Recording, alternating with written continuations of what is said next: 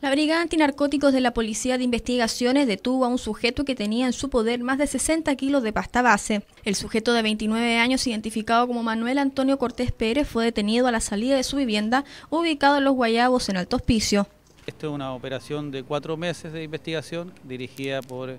eh, el fiscal Ricardo Thompson, acá de la Fiscalía de Iquique y en esta oportunidad se lograron, desde la estructura que está investigada, se logró determinar que parte de ella se disponía de la recepción y posterior eh, despacho de una cantidad significativa de droga, por lo cual se adoptaron los procedimientos de rigor debidamente facultados y autorizados por el fiscal del caso, específicamente un dispositivo de vigilancia en la comuna de Alto Hospicio, diligencia que permitió establecer y determinar el, el momento en el cual esta persona, el blanco de la investigación, procedía a salir de su domicilio portando unos bolsos que presumiblemente eran los contenedores de la droga investigada.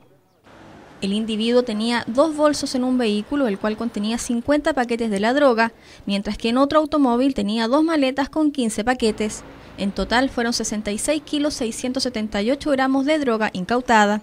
Los antecedentes del caso fueron remitidos al fiscal y a partir de este procedimiento se continúa con la diligencia para determinar la responsabilidad del resto de la estructura identificada.